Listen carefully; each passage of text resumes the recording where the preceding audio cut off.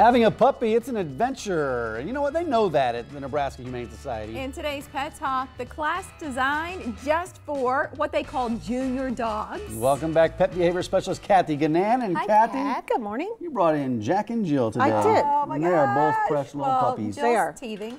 Yes, they're they're nine weeks old, Uh-huh. and there's some sort of a Bichon Chihuahua mix. Yeah. I am really fond of Jack, and, and Jack Jack- loves me. And There you me. So you guys and know. me of Jill. Are- Aren't these, do they need to go to a home together, Kathy? No, or what's they do the not. They can go separately, and it would probably be a really good idea if they did. Why? Why do you say that? They're not. Are they brother and sister? They are brother they and are, sister, Okay. yes. Um, One is wiry and one is more has a Yes. uh, softer coat. Just different coats. Yep. Um, But they lots love of each time- other. They do, and they were arguing a little bit ago, very nicely, and loudly. Like siblings? They do. Often do. They yeah. do. Um, but they, they will do better separately just because they've grown up together already. Their identity will be better if they stay separate as Mm-hmm. they go on and adopt out.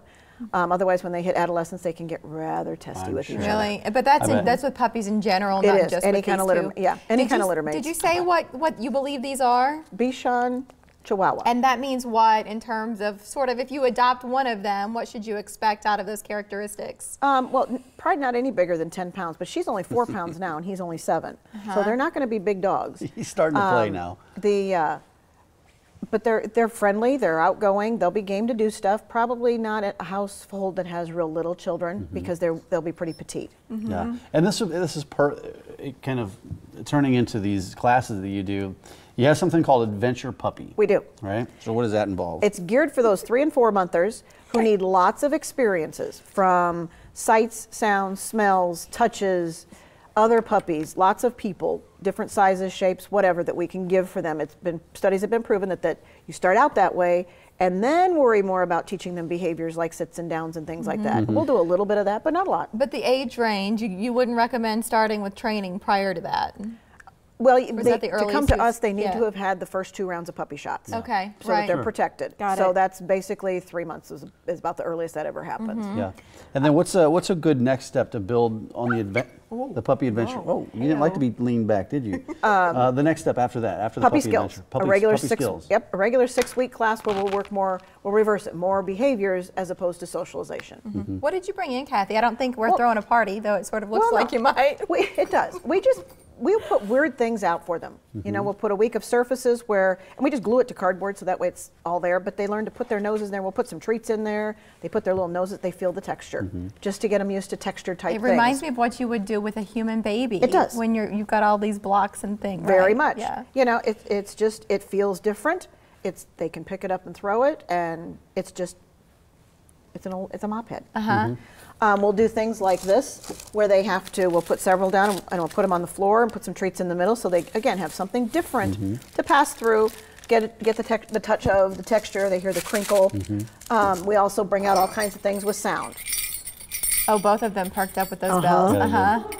It's like, well, we're not real sure about Hey, it. Hey, lady, what you got? Yeah. Uh-huh. Um, So but with it is the- just lots of different fun things for them to do. What is the best way to sign up for, for the classes we've touched on here, or maybe some of the others that you offer? Online is the easiest way to do that. You can also come into the shelter. Um, you can also uh, call the number at the shelter and Yeah. get to the training line, and we'll mail stuff out to you if you need that. And both of these puppies are up for adoption. They are up for adoption. Jack adoption wants today. to go home with somebody. So does Jill. Jack's a he's an active little guy. They are. They both are. As soon they as you put them on way? the floor, yeah, they were all over the green room. Uh-huh. Yeah, you have something coming up that's uh, it's the rescue rally. We do. Right. It's You very do, fun. you do this every year. We do it every year. What is it? Uh, basically, what we do is allow the rescue groups that we work with to come in and have space in our shelter to um, show their animals that they have that are available for adoption.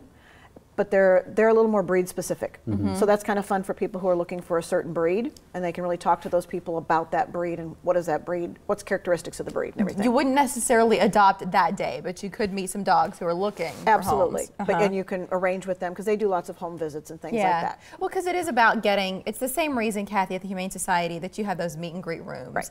Because you want to make sure that it's that it's the right fit for everybody, so that once Right. you once you adopt, once you bring Jill home, uh, that she's able to stay there forever. Exactly. That yeah, you're not going back and forth. It is 'cause because that's no flipping good. back and forth is hard on the animals. Yeah. It's So really who, hard who on should come to that? I know. Like hearts, could've- I feel at like I can hear hearts melting across this city right now. Jack's a stud. Yeah. Yeah. Oh, Jill. Uh, So Uh, they're, sweet. they're, they're available for adoption at noon They today. And these two today. are available. So They you are. can go down there, get there a little bit early so you can Yes. start filling out the paperwork. And then right at noon, you can get in there Yep. and play with little Jack or little Jill I- over I there. think Uh-huh. she, she likes my ring. I like it too, and I'd love for it to stay in one piece.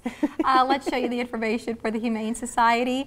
Uh, as Mike said, adoptions open up at noon, but you can go a little bit early and fill out paperwork, especially with puppies, because sometimes they tend Go to go a little bit Yeah, faster, right? You see them on TV, and you're like, oh, I've got to have that dog. I think there's somebody out there right now that's looking at Jack and says, I, I need to get down there. Is their last name DeGiacomo? No, no, no, no, no. We already got our puppy. We're good to go for about the next 20 years. Uh, the Humane Society, call that number, it's 402-444-7800. And we started this conversation talking about training. So if you call that number and you want to get hooked up with some information about one of the classes, just ask for training when you call, or you can go to the website. They've got a Oh, full wow. drop-down menu You your- of um, all of the behavior stuff there, and then also a complete list of adoptable pets They do. online. Kathy, thanks for coming in. Thank you.